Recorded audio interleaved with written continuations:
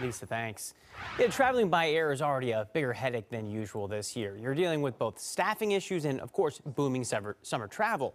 Now we're learning that if you checked a bag and you can't find it when you land, you could be waiting an extremely long amount of time because those unclaimed bags are piling up at airports this summer. Reporter Jake Karalexis is live outside of Atlanta Airport today. And Jake, more people, it seems, are losing their bags.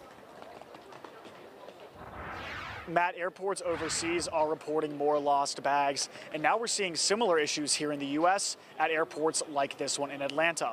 And once your stuff disappears, it might show up in a store. We go through the contents and we determine how we're going to give new life to each item in an orphan bag. The unclaimed baggage store in Scottsboro, Alabama is full of items from lost or unclaimed luggage. All my friends at college and stuff are so jealous of all the stuff that I find here. You walk by, if something catches your eye, then then uh, then it's a great find for the day. Everything in the store is from bags that went unclaimed for at least 90 days. So I think we would definitely sell that. Owners Bryan and Sharon Owens have run unclaimed baggage for 50 years.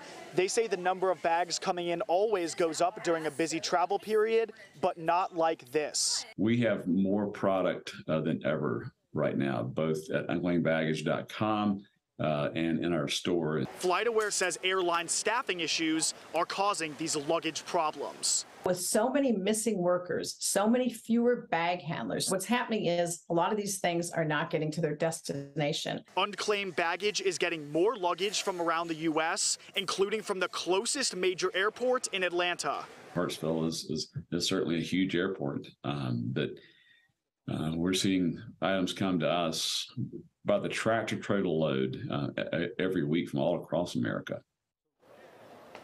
The U.S. Department of Transportation says there were almost 238,000 lost or delayed bags in May. That's over 100,000 more than the same time last year. From Hartsfield Jackson International Airport, Jake Karalexis, Fox 13 News.